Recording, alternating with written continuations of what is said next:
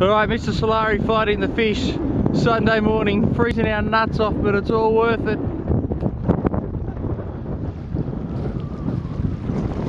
Oh, slowly, slowly, slowly. Have you got your, how's your drag set?